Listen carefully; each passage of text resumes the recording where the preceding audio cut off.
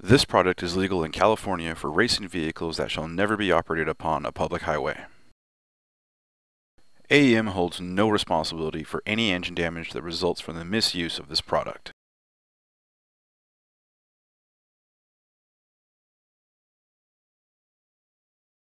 Before verifying the firmware, please save your calibration files. Also, disconnect the USB cable from the FIC and make sure no power is going to the unit.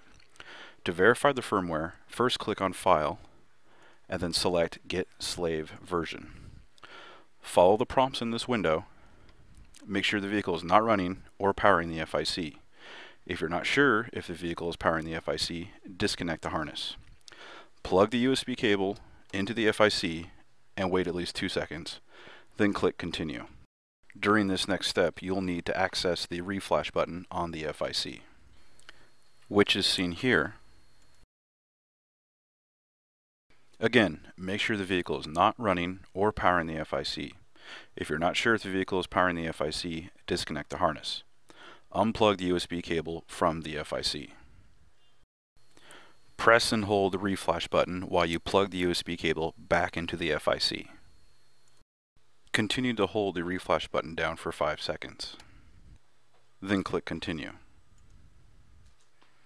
The firmware version is now shown.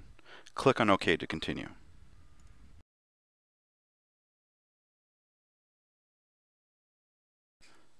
To flash the FIC, go to File and select Flash FIC.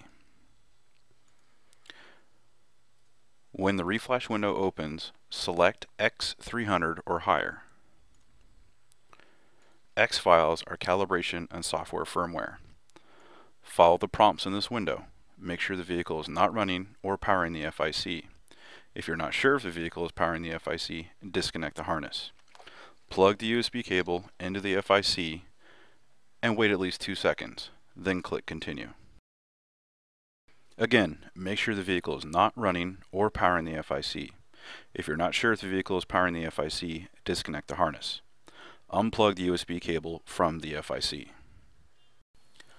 Press and hold the reflash button while you plug the USB cable back into the FIC.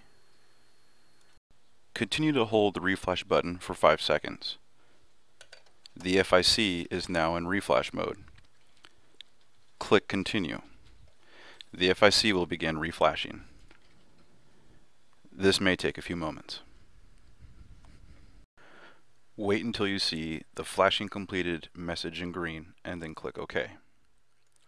Disconnect the USB cable from the FIC and then repower the FIC to do a hard reset. Repeat this procedure to load the appropriate Z fueling firmware which may be necessary for certain vehicles. For more information on which fueling firmware should be used, please consult your local AEM tuner, the AEM Electronics Forum, or AEM Tech Support.